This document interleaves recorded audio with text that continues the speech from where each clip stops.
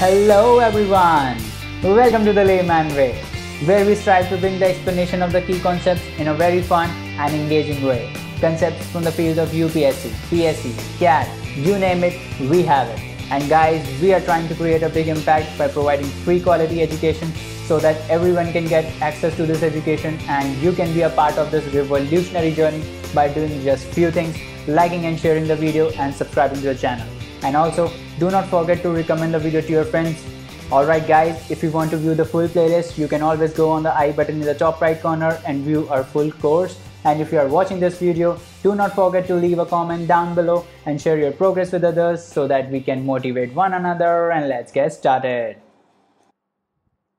So guys, let's continue with our lecture today. और government schemes को हम discuss कर रहे हैं तो चलिए जल्दी से आगे बढ़ते हैं और मिनिस्ट्री ऑफ एमएसएमई की हम यू नो स्कीम्स देखते हैं micro small and medium enterprise की। तो उसमें सबसे पहले आता है क्या? ग्राम, ग्रामोद्योग विकास योजना, है ना? तो अब नाम से फिर हम देखेंगे। ग्राम, इसको दो वर्ड में तोड़ो। ग्राम और उद्योग, है ना? ये किससे बना होगा? ग्राम से बना होगा और उद्योग से बना होगा, है ना? उद्योग। तो ग्राम उद्योग और फिर इसका विकास करना है हमको, है ना? तो हम ये नाम से देखते हैं क्या हो सकता है इसका मतलब है ना? तो ग्राम मतलब रूरल, है ना? गाँव। ग्राम मतलब गाँव, है ना? उद्योग मतलब बिज़नेस और विकास मतलब उसका डेवलपमेंट तो हमको बेसिकली रूरल एरियाज़ में बिज़नेस डेवलपमेंट करना है, उसके लिए स्कीम हो सकती है ना? ऐसा कुछ हमको पता चलता है ना? तो वैसा ही है इसमें चीज़, है ना? क्या है इसमें हम बेसिकली जो माइक्रो यूनिट्स होती हैं विलेजेस में उनको हम बेनिफिट प्रोवाइड करेंगे, है ना? तो ये न्यूज़ में इसलिए था क्योंकि मिनिस्ट्री ऑफ़ एमएसएमई जो है, उसके अंदर आएगा बिज़नेस है तो एमएसएमई के अंदर आएगा, है ना?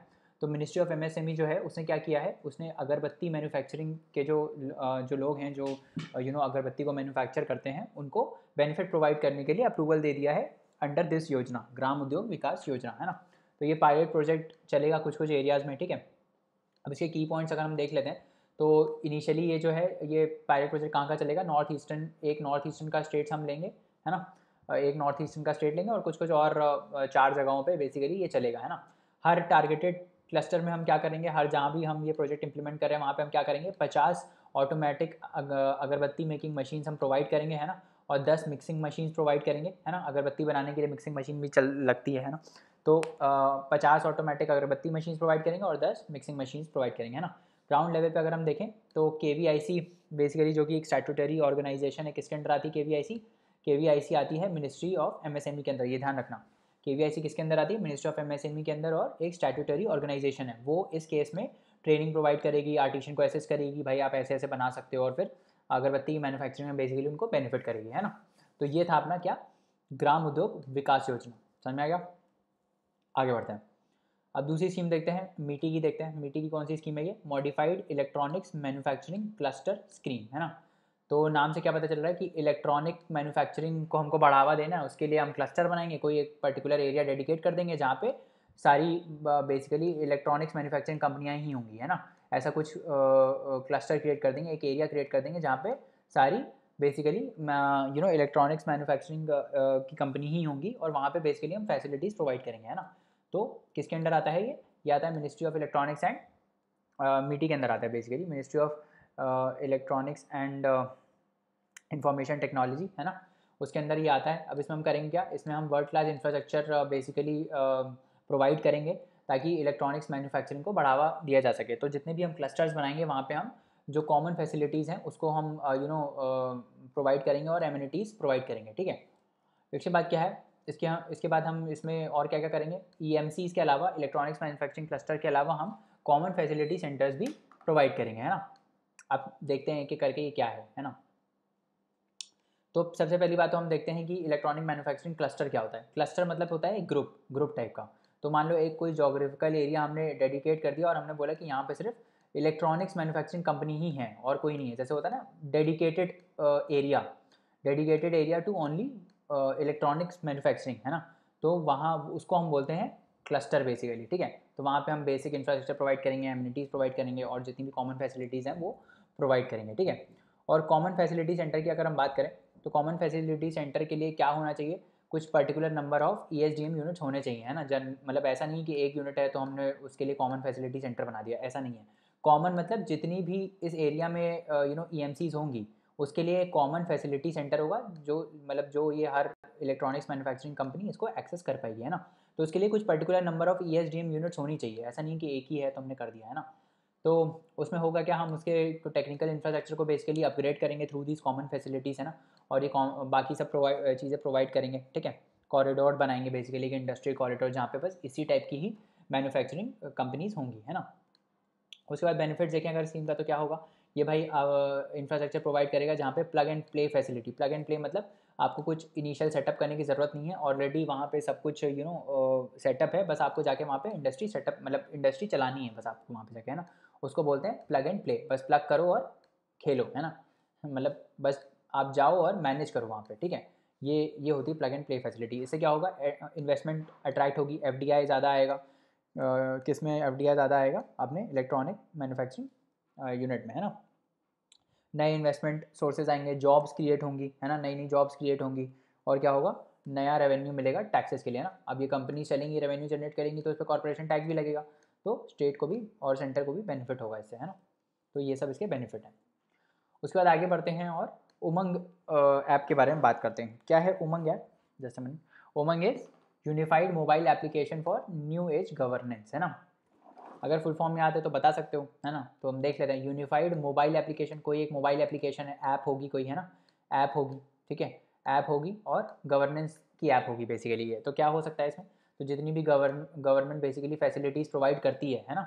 मान लो वैक्सीन लग रही है तो आपको वैक्सीन का रजिस्ट्रेशन करवाना है तो आप उमंग ऐप पे जाओ और रजिस्ट्रेशन करा लो। तो जितनी भी सेंटर और स्टेट गवर्नमेंट सर्विसेज़ प्रोवाइड करते हैं, वो इस ऐप पे आपको मिल जाएगा, है ना? वो इस मोबाइल ऐप पे मिल जाएगा, है ना? किसने डेवलप किया है? अगेन ऐसी कोई इलेक्ट्रॉनिक्स वाली चीज़ होती है तो कौन डेवलप कर सकता है? मीटी डेवलप करता है ना? Ministry of electronics and information technology ठीक है?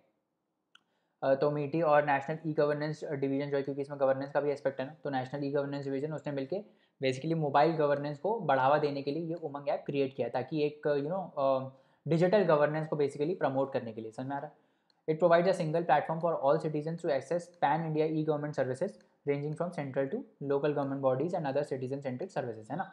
तो जितनी भी यू नो सर्विसेज़ हैं जो सेंटर गवर्नमेंट प्रोवाइड कर रही है स्टेट गवर्नमेंट प्रोवाइड कर रही है लोकल गवर्नमेंट प्रोवाइड कर रही है, वो सारी आपको इस ऐप पे मिल जाएँगे ठीक है? तो ये था उमंग ऐप के बारे में। उसके बाद एक नीति आयोग ने नया डॉक्यूमेंट रिलीज़ किया है जिसको इन्होंने बोला है vision 2025 sorry 2035 public health surveillance in India है ना? तो ये विजन है किसने रिलीज़ किया है? नाम बस इंपॉर्टेंट है कि, किसने रिलीज़ किया है? नीति आयोग ने है ना? तो ये क्या करेगा? नाम में ही पता चल रहा है पब्लिक हेल्थ सर्वेलियंस के कुछ गाइडलाइंस ले डाउन करेगा है ना? कि ये पब्लिक हेल्थ को हमको सर्वे कैसे करना है? सर्वेलियंस का मतलब क्या होता है? सर्वेलियंस आया सर्वे से है ना? नाम को तोड़ो, सर्वे से आया, सर्वे क्या होता है? सर्वे में आप क्या करते हो? जाके मान लो जैसे पॉपुलेशन का सर्वे होता है तो आप जाते हो, बंदे का नाम पूछते हो, क्या करता है, ये सब पूछते हो, है ना? पूरा रिकॉर्ड लेते हो, सर्वे में यही होता है। तो हेल्थ सर्वेलियंस में क्या होगा? हम बेसिकली हेल्थ सिस्टम जो हमारा हेल्थ इंफ्रास्ट्रक्चर है, उसको पूरा सर्वे करेंगे, है ना? कि मतलब कैसा हेल्थ इंफ्रास्ट्रक्चर है, क्या हमको यू नो ज़्यादा ऑक्सीजन सिलेंडर प्रोवाइड करने की ज़रूरत है, कितना प्रोडक्शन होना चाहिए, है ना? क्या हम स्टेप्स ले सकते हैं health health you know outcomes को बढ़ाने के लिए? ये सब होगा हेल्थ सर्वेलियंस में, ठीक है? तो इसमें बेसिकली तीन जो तीन टीयर का पब्लिक हेल्थ सिस्टम है हमारा प्राइमरी सेकेंडरी और टर्शरी उसको हम इंटीग्रेट करेंगे और ये बेसिकली पब्लिक हेल्थ सर्वेलेंस हम उसका करेंगे, है ना? तो ये है बेसिकली पब्लिक हेल्थ सर्वेलेंस वाला डॉक्यूमेंट बस ये याद रखो किसने रिलीज़ किया? नीति आयोग ने, है ना? उसके बाद आगे आगे बढ़ते हैं और national programme and project management policy framework के बारे में बात करते हैं। N M P N P M P F है ना? तो national programme and project management policy framework किसने लॉन्च किया है? अगेन नीति आयोग ने लॉन्च किया है इसको क्वालिटी काउंसिल ऑफ़ इंडिया के साथ मिलकर ठीक है? क्या बोल, क्या इसका मकसद क्या है कि भाई हम रेडिकल रिफॉर्म्स लाएँगे? किसमें? इंफ्रास्ट्रक्चर प्रोजेक्ट्स में। जो इंफ्रास्ट्रक्चर प्रोजेक्ट्स जैसे रोड बन रहा है या एयरपोर्ट बन रहा है, ये सारे इंफ्रास्ट्रक्चर प्रोजेक्ट्स हैं ना? तो इसमें हम रेडिकल रिफॉर्म्स लाएँगे, ठीक है? तो इसमें बेसिकली एक एक्शन प्लान बताया गया है ना? इसमें क्या है कि प्रोग्राम को अडाप्ट करो प्रोग्राम प्रोग्राम मैनेजमेंट अप्रोच हम लेंगे कि भाई प्रॉपर मैनेजमेंट होना चाहिए उस इंफ्रास्ट्रक्चर प्रोजेक्ट का। इंस्टिट्यूलाइज करेंगे and promote the profession of a programme and project management and build a workforce of such professionals है ना? जो ये काम करते हैं, उनकी हम वर्कफोर्स बनाएँगे और इंस्टीट्यूशनल कैपेसिटी को बिल्डअप करेंगे। बहुत ही सब्जेक्टिव स्टेटमेंट्स हैं। जहाँ भी आए ऐसे बिना देखे सही मार देना, है ना?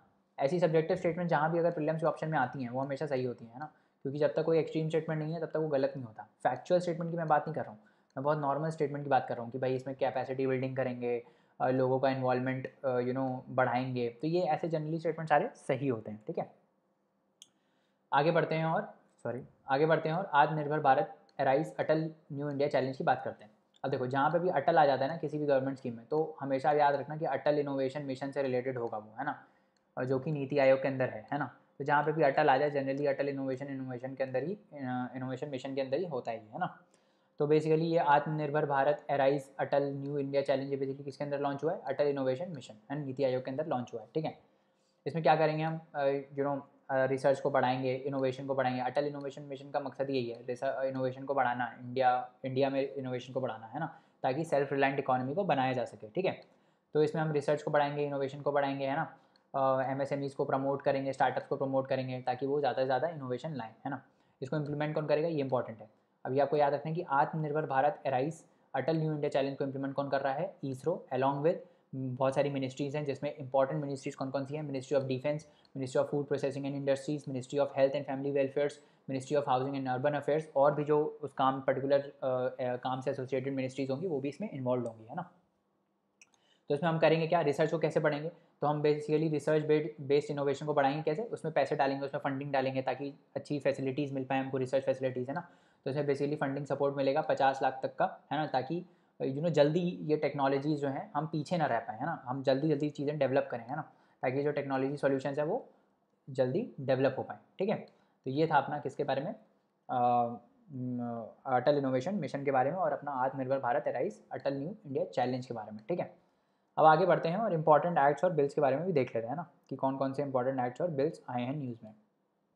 तो सबसे पहला बिल आता है mines and minerals development and regulation amendment act 2021 ठीक है? तो M M D R act भी बोलते थे इसको ना? M M D R mines and minerals mines and minerals development and regulation act है ना? तो इसमें क्या है? अभी जो नए रूल्स आए हैं, उसकी हम बात कर लेते हैं कि जो नए रूल्स आए हैं, उसमें क्या क्या है?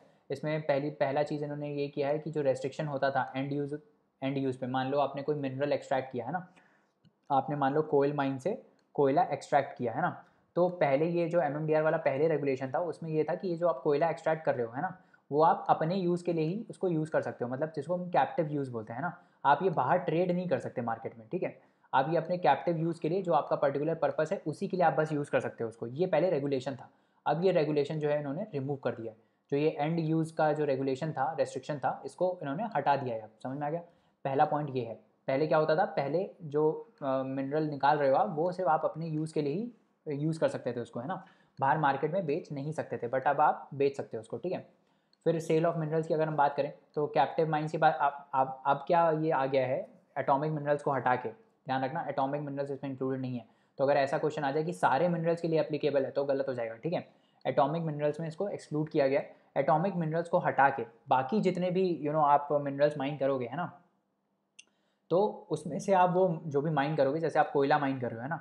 तो जितना भी आपने मान लो सौ टन कोयला माइन किया है ना तो उसमें से आप पचास परसेंट आपको ऑथराइजेशन है कि आप वो बाहर मार्केट में बेच सकते हो, ठीक है? तो ये एक नया रूल इसमें आया है कि भाई पचास परसेंट ऑफ़ जो एनुअल मिनरल प्रोडक्शन है, वो ओपन मार्केट में आप यू नो बेच सकते हो अपने नीड को मीट करने के लिए, ठीक है? और ये जो पचास परसेंट वाली लिमिट है, ये सेंट्रल गवर्नमेंट अपने हिसाब से इंक्रीज और डिक्रीज कर सकती है नोटिफिकेशन के थ्रू ठीक है?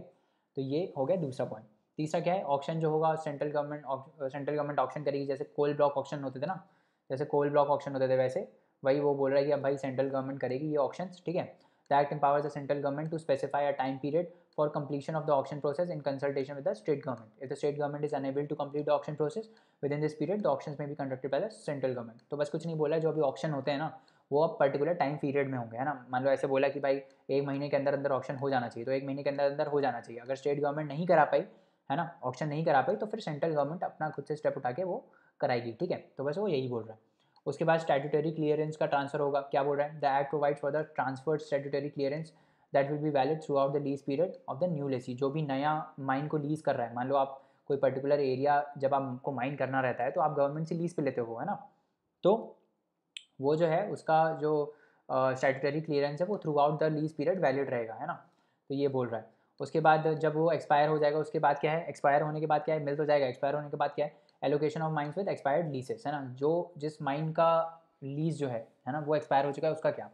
तो ये एक्ट क्या बोलता है कि other than other than coal lignite and lignite and atomic minerals इन तीनों मिनरल्स के अलावा जिनका भी लीज एक्सपायर हो चुका है ना? वो गवर्नमेंट कंपनी को अलॉट हो जाएगा, ठीक है? तो मान लो आप कोई प्राइवेट फर्म है, ठीक है? मान लो कोई प्राइवेट फर्म का जो माइन का लीज था, वो खत्म हो गया, ठीक है? तो अब क्या होगा? अगर ये कोयल माइन लिग्नाइट माइन या कोई एटॉमिक मिनरल का माइन नहीं है है ना? तो क्या होगा, ये माइन बेसिकली कोई गवर्नमेंट पी को मिल जाएगा। गवर्नमेंट कंपनी को बेसिकली ये मिल जाएगा ना? फिर वो अपना देखेगी कैसे करना है इसको, ठीक है? तो the state government may grant lease for such a mine है ना? To a government company for a period of up to ten years तो दस साल के लिए किसी गवर्नमेंट कंपनी को ये लीज दिया जा सकता है until the selection of a new lessee ठीक है? जब तक, जब जब तक नया उसका कोई ओनर नहीं मिल जाता, नया यू नो लीज लेजी नहीं मिल जाता, तब तक हम ये दस साल के लिए बेसिकली गवर्नमेंट कंपनी को मैक्सिमम पीरियड तक हम दे सकते हैं, ठीक है? तो ये इसमें था बिल है ना? उसके बाद आगे बात करते हैं इंश्योरेंस अमेंडमेंट बिल 2021 की बात करते हैं। तो क्या है ये इंश्योरेंस अमेंडमेंट बिल 2021 तो फीचर्स देख लेते हैं। बेसिकली इंश्योरेंस एक्ट जो था 1938 है ना? उसको अमेंड करता है और एफडीआई को बढ़ाता है। तो अभी अगर आपने पीछे पढ़ा होगा तो इंडिया में जो इंश्योरेंस इंटरमीडिएट कंपनीज़ हैं ना?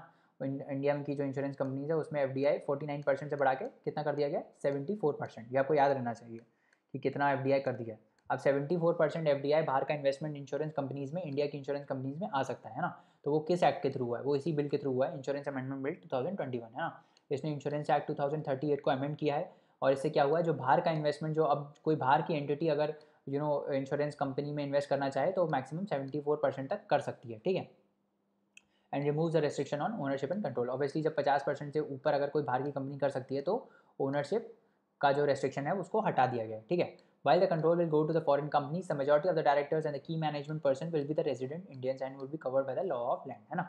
तो भले ही एफ़ डी आई आ रहा है भले ही मैनेजमेंट कंट्रोल जो है वो यू नो फॉरेन कंपनी के हाथ में चला गया। मान लो कोई इंश्योरेंस कंपनी में कोई इंडिया की इंश्योरेंस कंपनी में seventy five seventy four percent F D I आ जाता है बाहर से। तो सेवेंटी फोर परसेंट आ गया मतलब मैनेजमेंट कंट्रोल उनके पास चला गया। फिफ्टी परसेंट से ज़्यादा अगर किसी के पास टेक आ जाता है तो मैनेजमेंट कंट्रोल उसके पास शिफ्ट हो जाता है ना? बट ये बोल रहा है कि मैनेजमेंट कंट्रोल भले ही फॉरेन कंपनी के पास चला गया हो लेकिन जो बोर्ड है जो हमारे मैनेजिंग डायरेक्टर्स हैं, वो इंडियन रेजिडेंट्स ही रहेंगे, ठीक है? तो फॉरेन इन्वेस्टमेंट बेसिकली 2000 अब इसका टाइमलाइन अगर देखें, ये एफडीआई का तो गवर्नमेंट ने 2000 में 26 परसेंट किया था 2015 में 49 परसेंट करा, कर, बढ़ा के 49 परसेंट कर दिया, और 2021 में फिर अब इसको 74 परसेंट कर दिया गया, ठीक है? तो ये आपको याद रखना है। उसके बाद अलग, अगला एक्ट आता है प्लेसेस ऑफ़ वर्शिप एक्ट है ना? तो कुछ रिलीजियस मैटर से रिलेटेड है ना, ये वर्शिप से रिलेटेड है। तो न्यूज़ में इसलिए था क्योंकि पिटीशन फ़ाइल की गई, है ना? कोर्ट को चैलेंज किया गया किसी स्पेशल लॉ पे जो ये था places of worship special provisions act 1991 ये एक्ट क्या बोलता था? ये एक्ट फ्रीज करता था जो status of places of worship है एज ऑन 1947 मतलब क्या है इसका? जैसे मान लो कोई जैन टेंपल है है ना? तो कोई जैन टेंपल है तो वहाँ पे उसका रिलीजियस कैरेक्टर क्या हो गया? वो जैन जैन जैन्स के लिए है राइट कोई हिंदू का टेंपल है तो वो हिंदूज़ के लिए है। हिंदूज़ के लिए नहीं है मतलब आ, मेरा मतलब है कि उसका रिलीजियस कैरेक्टर क्या है? रिलीजियस कैरेक्टर का मतलब ये है, जैसे मान लो जैसे मान लो कहीं किसी टेंपल में लॉर्ड शिवा की पूजा होती है, ठीक है? तो ये उसका रिलीजियस कैरेक्टर है कि वहाँ शिवा की पूजा होती है ना? तो जो नाइन, जब इंडिया आज़ाद हुआ फिफ्टीन अगस्त 1947 में तो जो भी टेम्पल्स थे, है ना? जो भी टेम्पल्स थे, वहाँ पे जो भी रिलीजियस कैरेक्टर था, हो सकता है किसी टेंपल में लॉर्ड शिवा की यू नो क्या बोलते हैं वर्शिप हो रही हो, कहीं पे लॉर्ड जगन्नाथ की हो रही हो, कहीं पे लॉर्ड विष्णु की हो रही हो तो ये कैरेक्टर मेंटेन रहेगा, जैसा 1947 में था। ऐसा नहीं है कि आप जहाँ पे लॉर्ड शिवा की बेसिकली यू नो वर्शिप हो रही है, वहाँ पे उसको आप हटा के अब उसको कुछ और बना दो, है ना? तो ऐसा आप नहीं कर सकते, ठीक है? तो यही वो बोल रहा है कि ये जो एक्ट था, ये बेसिकली फ्रीज करता था कि स्टेटस जैसा है प्लेस ऑफ़ वर्शिप का, वो वैसा ही रहेगा जैसा 1947 में था, ठीक है? की फीचर्स की अगर बात करें तो act declares the religious character of a place of worship shall continue to be the same as on August 1947 तो जो 1947 को जैसा उसका रिलीजियस कैरेक्टर था मतलब जिसकी वर्शिप होती थी, कैसे मैनेज होता था, ये सब वैसा ही रहेगा। जो जिस रिलीजियस डिनोमिनेशन के अंदर वो था, है ना, वो सब वैसा ही रहेगा।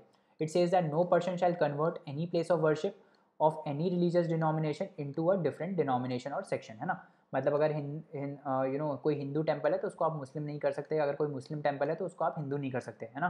तो ऐसा नहीं होगा, जैसा वो उसका कैरेक्टर है रिलीजियस कैरेक्टर वो वैसा ही रहेगा। कोई जैन टेंपल है तो उसको भी आप कन्वर्ट नहीं कर सकते, कोई क्रिश्चियन की मोनेस्ट्री है तो उसको भी आप सॉरी जो कोई क्रिश्चियन चर्च है तो उसको भी आप कन्वर्ट नहीं कर सकते, ठीक है?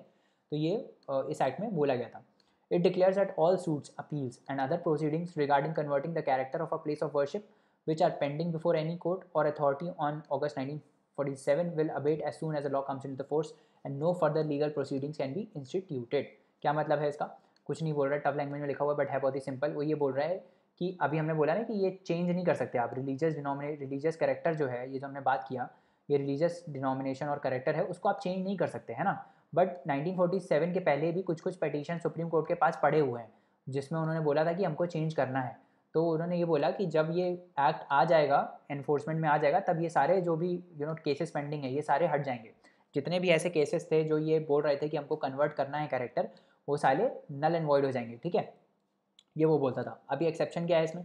दिस प्रोविज़न कहाँ कहाँ ये provision places of worship act apply नहीं होगा।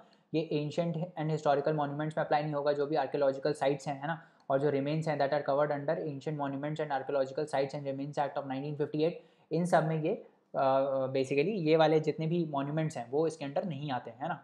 A suit that has been file finally settled or dispose of and any dispute that has been settled by the parties or conversion of any place that took place by acquiescence before the act commencement जो जब act आया था इससे पहले जो भी dispute solve uh, हो चुका है ना? वो अब फिर से आप उसको नहीं uh, ला सकते इसमें बीच में ठीक है? The act also does not apply to the place of worship commonly refer to as Ram Janmabhoomi and Babri मस्जिद इन अयोध्या है ना? तो ये वाला जो केस है, जिसके ऊपर अभी सुप्रीम कोर्ट ने रिसेंटली यू नो अपना वर्डिक सुनाया था, है ना? राम मंदिर और बाबरी मस्जिद वाला जो केस था, उस वाली लैंड पे ये अप्लीकेबल नहीं होगा सॉरी उस वाली लैंड पे ये अप्लीकेबल नहीं होगा। This law will have overriding effect over any other law in force इसको हटा के जितनी भी यू नो जितना भी है उस पर बेसिकली ये एप्लीकेबल होगा। करेक्ट समझ आ गया? चलो। तो चलिए दोस्तों, आज के लिए इतना रहने देते हैं। बाकी कंसेप्ट नेक्स्ट लेक्चर में पढ़ेंगे। और जाने से पहले लाइक शेयर सब्सक्राइब करना ना भूलें। चैनल को रिकमेंड करें अपने दोस्तों को और आप हमको अपने डाउट्स और क्वेरीज जो हैं, वो queries at the rate the layman way dot com पर भेज सकते हैं, जहाँ पे हम आपका रिप्लाई इंस्टेंटली करेंगे। तो चलिए नेक्स्ट लेक्चर में मिलते हैं। तब तक पढ़ते रहिए हार्ड वर्क करते रहिए। Thank you so much bye bye and take care